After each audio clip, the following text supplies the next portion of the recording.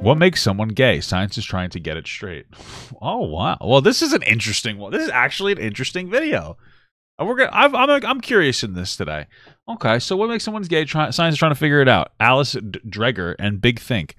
You know, that's a very interesting conversation that I feel like doesn't really matter. From like, this is one of those things where it comes like, oh, why? Why are we asking this question?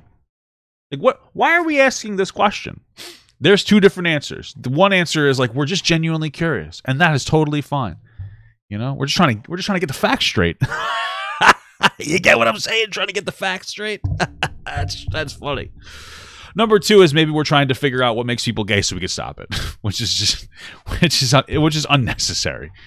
Um, I'm going to assume it's the first one though, because a lot of sciencey, you know, sciencey smarty farties think that you know they want to figure everything out. Um, yeah, I think it's just it's probably a mixture like everything else, a mixture between environmental and and and um biological factors you know? Like there are people that uh are usually get like addicted to like gambling. They have a biological predisposition to like have what, what do they call them uh like addictive personalities. So they have a higher chance of getting addicted to things. I think it's something like that. That doesn't necessarily matter. You know that there's a level of environmental factor though because you know that there are uh, the people that go to prison tend to become uh, gay in some capacity at least while they're there because they're in an environment where men are the only available option so you know you know what i'm saying gay is not all hereditary. But anyway, let's get this wild going.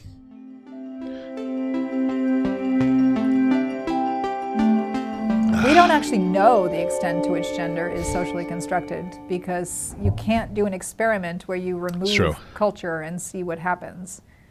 So we don't know to what extent what we see as gendered patterns are the result of sex, biological sex, males and females. That's fair. We know that. that gender differs according to culture, but we also know that there are patterns that appear to be fairly universal in terms of gender norms. And the ones that are more universal are more likely to probably have a sex basis to it, an evolved sex basis, that is to say, a biological basis. That makes perfect sense. It's so crazy because I've talked to people before. They're like, gender is 100% like social construct. It's like gender is a social construct, but like there are still bi- biological factors there that like you can observe across like every society. Like I think every society thinks tits are fucking like female tits are hot. So like I'm yeah. So like there's something that makes you think that those are hot. You know. Now, it doesn't mean you can't destigmatize it or change that or socialize it to be different, but like, yeah, there's still biological factors. for males and females. So, for example, who, which gender serves a very important meal may be different by different cultures. So, in some cultures, a man will serve a very important meal versus a woman. So, for example, think about in the United States that historically speaking, the father carves the turkey on Thanksgiving. But um, in general, women prepare food, historically speaking. So, what we know is that these kinds of things can differ by culture, but that there are some universals. And one of the universals we find, for example, is in childhood play, that we find that um, children who are girls tend to do more social play, they tend to do more social role play.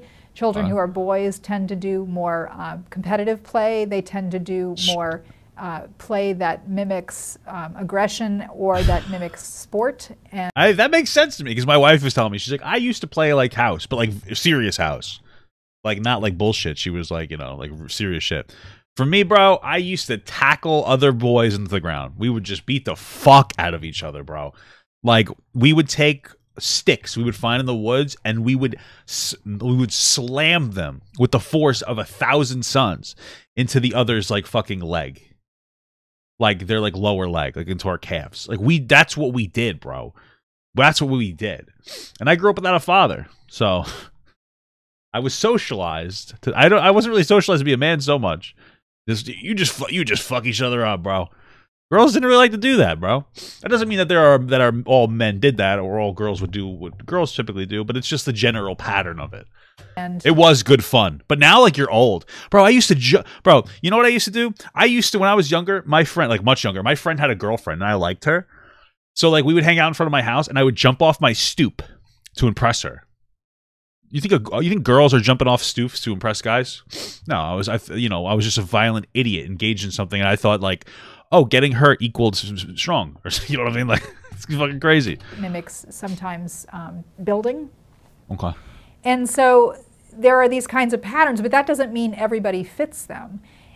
And it's really interesting, actually, too, if you look cross culturally, scientists find evidence that this may have, it's not just gender, that there's a sexuality component to it, too. So, boys who are um, going to grow up and be gay, and we know who they are because of retrospectively they grow up to be gay, they're what's called androphilic. That is to say, they're attracted to males. And you know what's interesting about that? I have a, I have, there's someone in my family, I don't get too specific, but someone in my family um, is gay and I remember telling his dad once when I was like young, and he was like really young too. I was probably like, like fucking 15 or less. I was like, he's gay. And uh, my family member was like, okay, who cares? that was it. But you could like kind of tell, bro. I don't know. In my experience, you could kind of tell, bro. You could tell a little bit. There's nothing wrong with that. But you could tell. Maybe it's more hereditary than I thought. I don't know. I mean, that would make more sense. I don't really know the majority of females are also attracted to males. So most females are androphilic, and a small percentage of boys are andro- will grow up to be androphilic. Okay. We know that historically speaking, cross. It sounds like androphilia is a mental disorder. Because like, why would you honestly be attracted to men? If you really think about it, like, what's like men are fucking annoying and dumb. You know what I mean? what the fuck, dude? That sounds like a mental issue to me.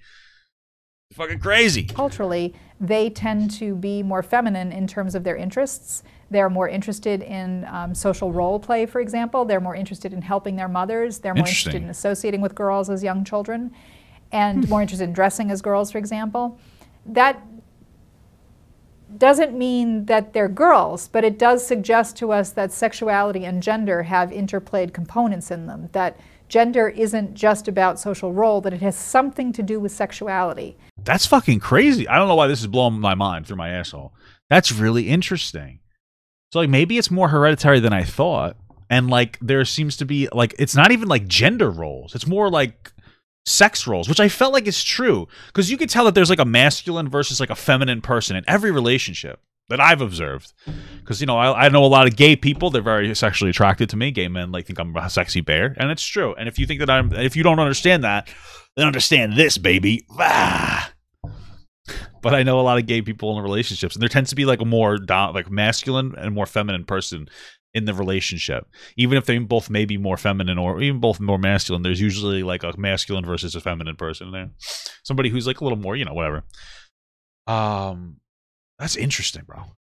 And that there's a reason females end up with these kinds of patterns and males end up with these kinds of patterns. And when you have a male who's attracted to males, he ends up with a little bit more of the female pattern. And in some circumstances, if you have a girl and she's attracted to girls, she'll end up with a little bit more of the male pattern in childhood.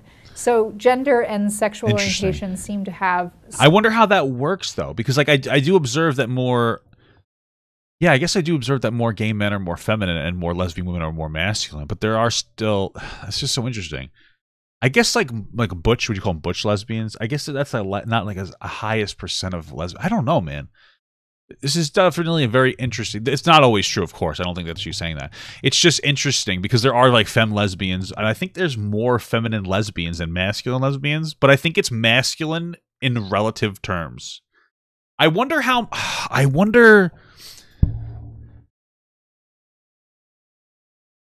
I don't know. I wonder how much of that is like socialized. Like if you have a like I don't know, man. It's so interesting. It's just a lot of information to me.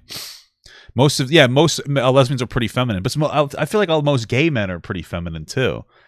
At least the gay men that I know, like you could tell they're gay. You know what I'm saying? Um, so I don't see a lot of like masculine lesbians though. That's what I'm like. That's what I'm. That's what I'm that's what I'm like really wrapping around my head is I feel like a lot of lesbians and a lot of gay guys are very feminine. You know what I'm saying? Like most people, like it's very interesting. This is really blowing my fucking mind because I would have assumed that most, um, like gay women would have been very masculine. You know what I'm saying? But like it seems like everybody's feminine, except for straight men. Some of them are, but you get what I'm saying. Like generally speaking. You miss a lot of masculine straight. Yeah, my wife is a pretty masculine straight woman. I love her to death. She's fucking hot. I feminized her with my hard fucking wiggler though. But anyway.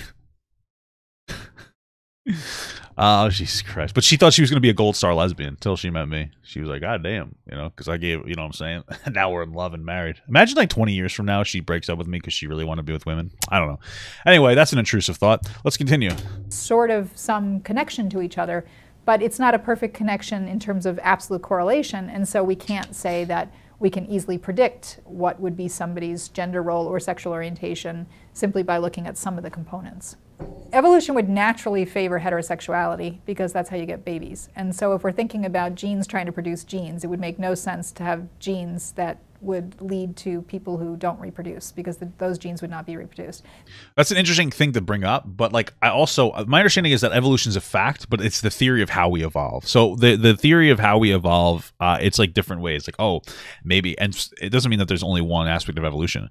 Like part of it might be like oh, we need particular traits, so we are our bodies grow to adhere to those traits. Like oh, we live closer to the water, so over a million years we start to develop gills or whatever or it's like, oh, here's some. Sh- I'm gonna throw some shit at a wall and see what sticks. That's the one that makes like. So you see people that are born with like six fingers. Like the theory could be like, oh, that's because we needed six fingers, or maybe it's just like evolution is like, well, is this gonna work? And they just start chucking shit everywhere, you know. Um, yeah. I don't know. You know, maybe maybe it's uh. I don't know, bro. I don't know. That said, we know cross culturally gay people exist. So we know that that's a natural variation in the population. And, Maybe they just want to reduce the amount of people. They're like, hey, let's make a gene so that you know what I'm saying. and so then scientists ask the really interesting question why is that there? Why does that not disappear over time? Because, at least in theory, that should lead to lower reproductive fitness, which means it should lead to fewer babies. Yeah. And so it should, it should fade out, evolutionarily speaking. Um, one possibility is that it's a side effect, that human variation is good for the species, and so uh, evolution is responding to the situation not by reducing necessarily everything that doesn't work, but saying, let's keep throwing up variation, and some of it will work in some environments, and some of it will work in other environments. Hey, see, I knew that. I said something like that, bro. I'm a little bit. I'm just a little bit of a smarty pants, huh? I'm a little bit of a smarty pants. You know what I'm saying? Being a varied species makes a species more resilient. So it may be the case that being gay, if you're born that way, is just a variation on a theme, and it will show up every now and then just because variations show up. But um, some scientists find some evidence that there may actually be advantages to a family of having a certain percentage of the children be gay. And um, Why? this is work done, for example, by Paul Vasey at the University How? What? That's confusing. That's interesting. of Lethbridge. And he's been looking at uh, the population in Samoa as well as other places. But Samoa has a cultural system that actually recognizes that a certain percentage of the boys are going to grow up to be um, androphilic. They're going to be interested in men sexually. How do they? How do they recognize that? Like, do they accept it, or do they actually like? ah, what is it? Okay. And they actually have a whole cultural system for it. They have a third gender category called the Fa'afafine. And when a boy, it becomes evident, is that kind of boy, the child is raised as a girl and becomes a woman, culturally speaking. What the fuck? That's. I feel like that's really wrong. And I'm, I don't care if you think I'm insensitive, because to me that bothers me. Because I feel like the way that you should raise kids is uh, well, don't say it's fucked up. It's like a cultural thing, and I understand why they they, they probably do it. But I think that the way that you should raise kids is like, I don't know. Like I feel like you should just kind of let kids do their thing. I feel like um you know, if your young boys and your young girls are going to generally gravitate towards a general area anyway, there's no reason to necessarily hard reinforce it. I'm not saying that you you can't, but like like for instance, if I have a boy, we're going to put the room together, the girl, we're going to put the room together. We're probably going to do dragons regardless. You know, you do you. You, you can make your girl princess whatever. I mean, it's probably going to happen. Your you know, dads usually treat their young girls like they're princesses and you know blah blah blah blah blah. You get it. Um, but like it's like let your kid experiment. Like if my kid was you know, I w- I wouldn't be like, okay, I, I think my kid's gay, so I'm gonna make him a girl. You know what I mean? I'd be like, okay, my kid might be gay. Let him explore that, figure that out. If he's gay, I don't give a fuck. You know what I mean? So I feel like that's probably not the right way to go. Uh, in general, I'm not like criticizing an entire culture. I'm just saying that I don't believe in that ideology in general, because I think we need to let kids be kids, and I feel like that's the problem. Is like we're we're too like one way or the other. Like the gender conversation nowadays feels a little bit reactionary in a negative way in the sense where it's like traditionally we reinforce that boys are boys and girls are girls. And then we might one of the kids might express themselves to be just trans. And instead of letting them feel that out and feel what that means to them and let them work through that it's like okay you're trans. Well you're fucking trans now. Here's a dress. Here's nails polish. Here's this that. Rather than letting your kid just like feel their shit out and experiment with it to what makes them happy rather than like enforce a particular role that they have to adhere to because they're trans. Because you know what? I feel like if you would enforce, let's say you have a, a young boy and they, they, they say that they're a girl, if you let them feel it out, they might just be like, you know what? I identify as non binary and I'm a little bit more feminine as they grow up, but they'll be comfortable with being a boy. But if you reinforce they must be a girl like really hard without them exploring and coming to that conclusion themselves, then all you're really doing is like you're forcing you're, you're doing you're doing the, the same as as a dad as somebody would do when they would force them to be a boy rather than just let them feel what it means to them. You're like okay you're a girl. Or which is the same as somebody go okay you're a boy. You're not actually a girl. You're a boy. Like you know what i'm saying? Like i'm, I'm trying to communicate this. I want to make sure i'm doing it. Right? So here's a scenario where let's say you have like a biological boy. Like you have like a biolog a bb a biological boy. And let's say they express like hey i'm trans. I would be like okay you feel that out what that means to you. But then I feel like there's people that are like, oh, if you say you're a girl, even if you're only like, let's say this is kid's only like six.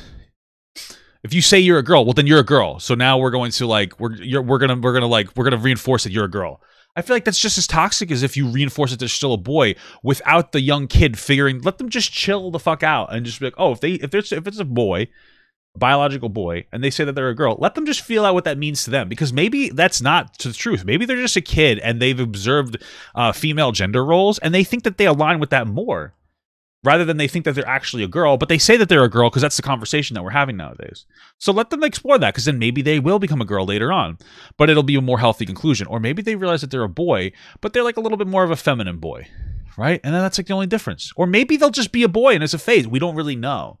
It's one of those things where like just let your kid be a kid because if you you force the connection, uh, you're you're still forcing a gender role onto your kid. Let them just figure out what the fuck it means. Like just let them relax and figure out what it means as long as they can function in society. Like I feel like that's that's why that's that's how I'm gonna try to treat it. With my kids, like oh, I'm a girl, um, I'm gonna be like okay, you do you. You know, I'm not gonna go out and running by them a fucking because I feel like a lot of people they want to be they want to be good people, so they're like, okay, if my if my young if my young biological son's saying that they're a girl, like I really want to, to be supportive of that, and so I'm going to like enforce that. But it's like I don't know if that's the best idea. Like maybe you just kind of like support them, not enforce them. Does that make sense? That's all I'm trying to say. But doesn't change her body at all, but partners with men. Um, so in our culture, that would be called transgenderism, but in this culture, it's a third gender category that absorbs what in our culture might just turn out to be gay men.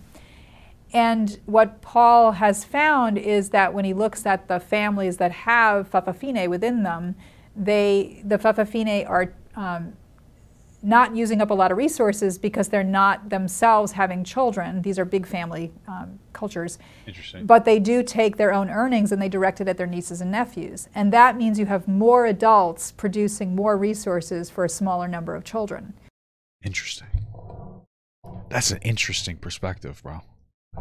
I don't. I know that to you guys, you probably were just like, okay, cool. But to me, that like fucking blew my mind a little bit because, like, I don't know. Like, I know multiple gay people in my life that like aren't even looking necessarily for like a partner, and then I know gay people that are married that like they might want to adopt, but they're like they don't know exactly what they want to do. So it's so interesting that like maybe we are so rigid in the way that we're supposed to construct relationships that we don't take a step back and think like wait what if this? Right? So it's like hey you're supposed to get married and have babies. Right? So traditionally it's been a man and a woman. You get married and you have babies right? And so then we had like the gay rights movements because gay, people should get married right? So then it's like okay men now men and men can get married and now women and women can get married.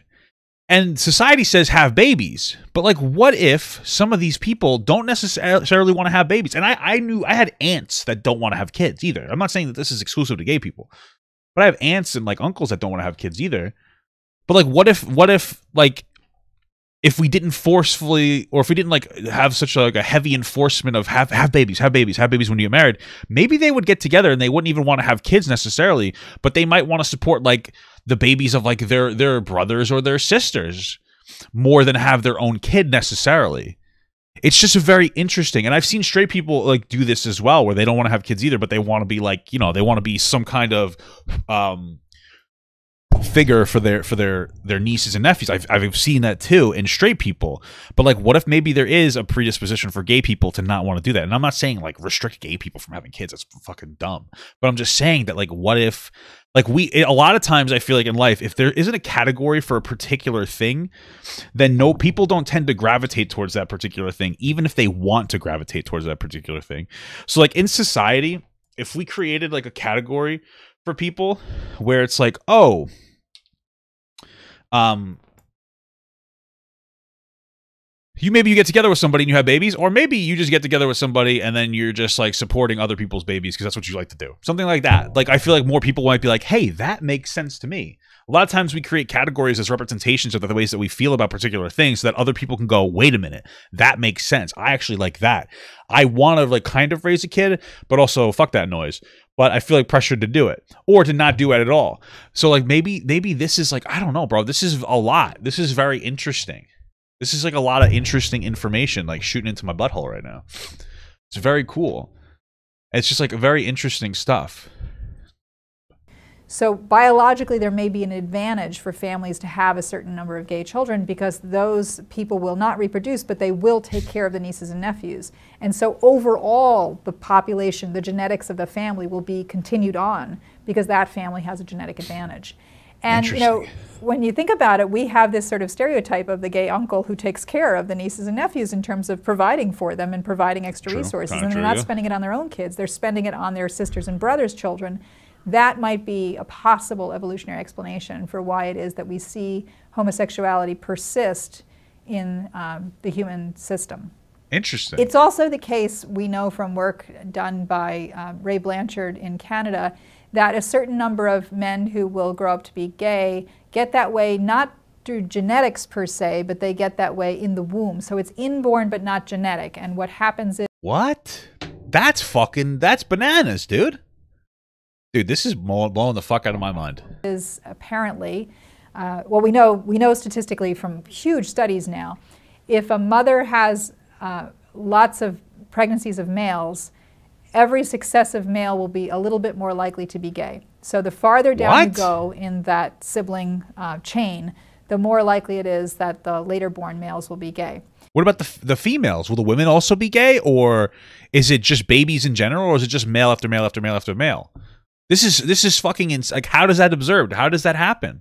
So this has been studied in many populations in the world, large numbers. Why would that happen? It's rigorous. We know that this is true. So why would that be? Well, it looks like it's a kind of side effect. The mother's immune system appears to be reacting to male hormones and maybe dampening them down a little bit.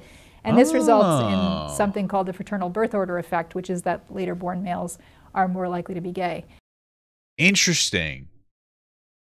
That's so weird. Okay, so like I, I I don't know because it sounds like they they have like some evidence to suggest it, but it may not be like one hundred percent. So that sounds really interesting. So if you have like a boy, you, you, you shoot a boy out of your your your your vagina. Every time you have a boy, they they may become a little bit. They have a higher, uh, you know, maybe this kid has a ninety percent chance to be gay. Then this has like a, oh, excuse me, ninety percent chance to be straight, eighty percent chance to be straight, seventy percent, etc. And they're saying it's because like, oh, maybe the mom's adapting to their hormones and they're like dampening the male hormone, or like, what if it's more of a social thing though? Ah, maybe that's like weird, but like you have a boy and then you're like, okay, I'm gonna raise this boy like a boy. Okay. Uh, and then maybe for whatever reason you have another boy and you're like yeah i'm going to raise like a boy but not to the same degree from a social perspective. I'm not going to like, heavily reinforce masculinity onto my boy uh, maybe because little boys are assholes. I don't know. And then maybe that's why it happens? I don't really know. I know that's like a weird theory. I'm not even saying that it's like smart. I'm just trying to like i'm just trying to talk, I'm talking out loud. I'm thinking out loud. You know what i'm saying? I just wonder what it is. That's so interesting It's a surprising finding because it suggests to us that some men are absolutely born gay, but not because of genetics. They're born gay because of the, the birth order, in terms of the some sort of effect having on a woman a woman's system, which is reacting to her um, children's system, and it only occurs in males. It doesn't occur in females. And really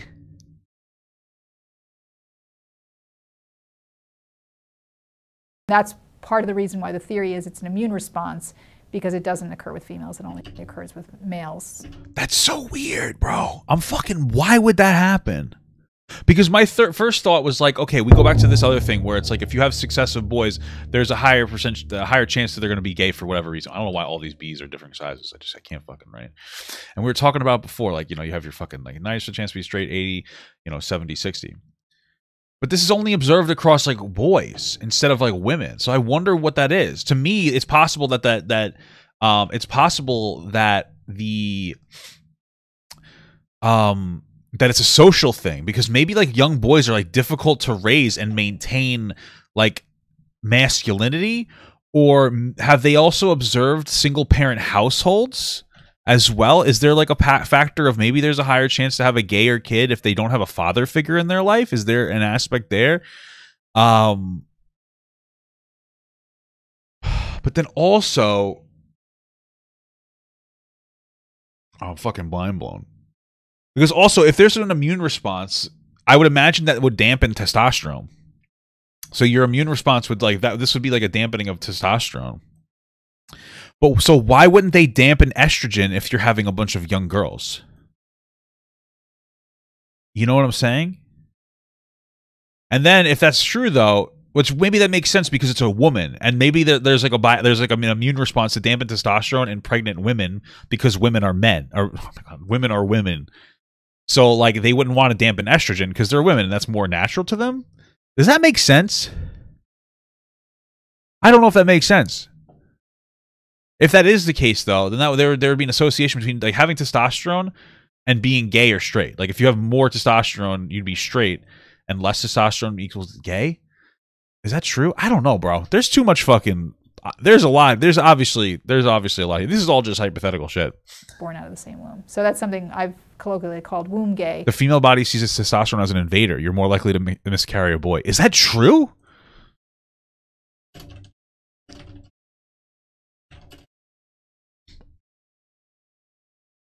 Nearly twice as many boy babies are conceived as girls. Wait, what? But they are much more likely to miscarry and the birth ratio is roughly 105 boys to 100. Wait, so wait. After birth, uh, male babies are also more likely to suffer. Major- wait, what? All right, that's fucking crazy. So not only are boys more likely to be miscarried, but they're higher chance of having suffer major illnesses.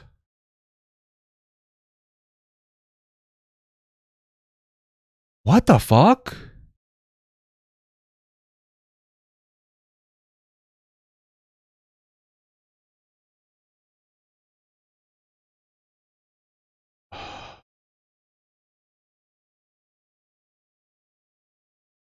I wonder why. So, like, is that because of it's? Is that actually because it's perceived as like an invasion on the body? So, if that's true, that makes a ton of sense. That testosterone is uh, perceived as a bodily invasion, and so like a, a woman's autoimmune response, um, or whatever, is to like suppress it, which could potentially make a kid more gay. Which means that estrogen in men, estrogen inside of men has a factor of whether they're gay or straight. So wouldn't that mean that like testosterone in girls would have that same factor? And then some cases, some trans people, some, not all, some trans people that are, are biologically men but like identify as women could have like an increase if they if you increase their testosterone, you could potentially reverse the dysphoria. Not in all people, and wouldn't just, but I, I would, I does that make sense? And like more testosterone in girls would make them more of a lesbian. Does that make sense though? But then we are saying before, it seems like most people are are, are feminine, even lesbians. I'm so, this is a lot.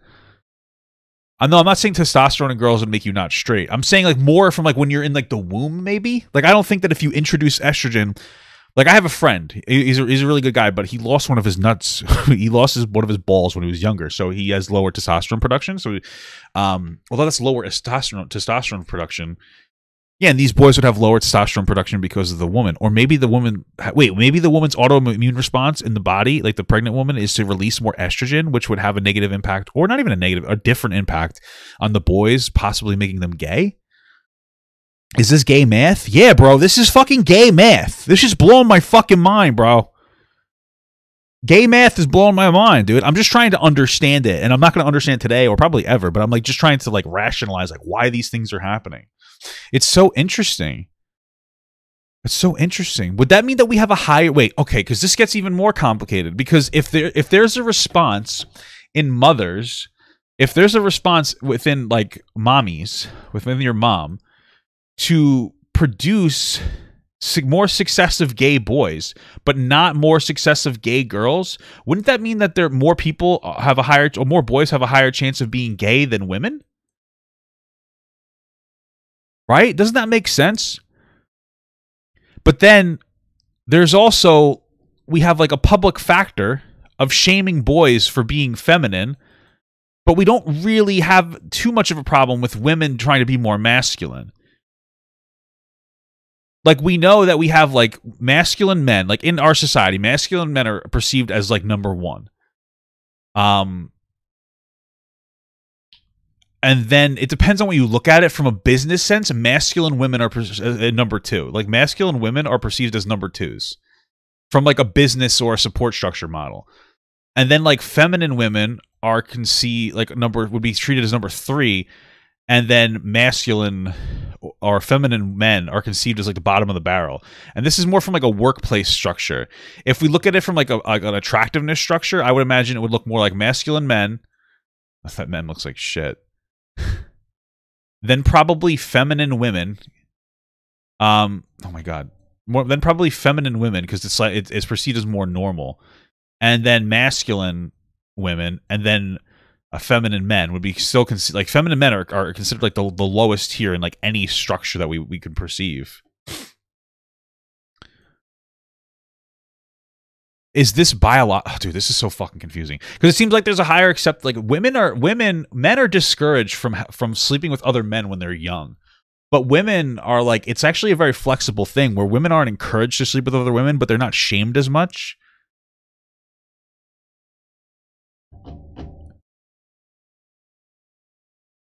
You know what I'm saying? I'm just trying to figure it out.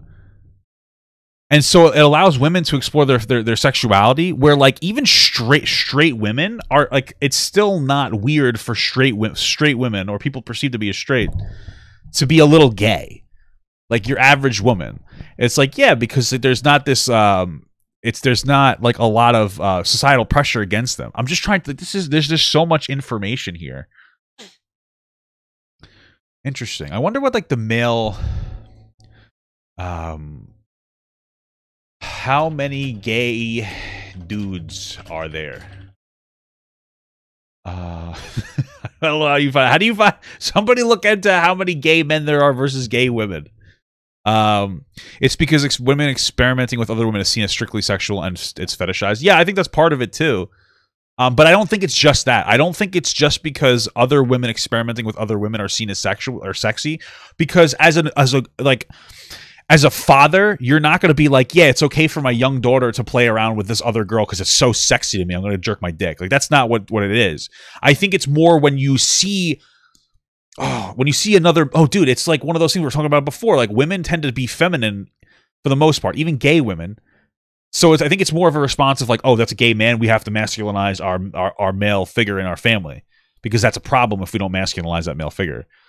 And so like we don't we don't stop young girls from experimenting necessarily because the signs aren't there as strictly because you're not usually seeing like a more masculine like if you see a, uh, your your young son being feminine, you like, hey, we have to stop this. But if you don't really do that for a feminine woman, and since lesbian people tend to be more feminine regardless, there are masculine lesbians, of course, but like you wouldn't identify and say that's wrong socially. We need to correct that. Does that make sense?